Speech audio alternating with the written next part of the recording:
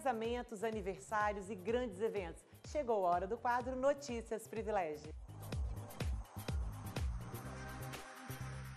O almoço mensal da confraria Amigas para Sempre, por ser o mês natalino, aconteceu na casa de Diva Michelini e sua filha Andréia Paula, que fazem parte do grupo. Esse encontro contou com Amiga X e mulheres bacanas, champanhota, vinhos e aquele menu delicioso, parte dele feito pela própria anfitriã Diva Michelini.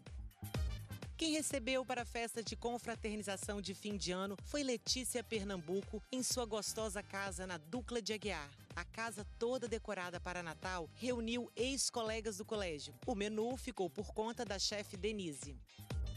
Ludmila Batista, Rosalém Fraga e Bruno Zani Santos se casaram e comemoraram com linda festa no Le Buffet Master. A festa contou com decoração caprichada, bolo belíssimo, bem casados lindíssimos e os doces deliciosos. O som ficou por conta do DJ Jefinho e a dupla sertaneja Rony Risse.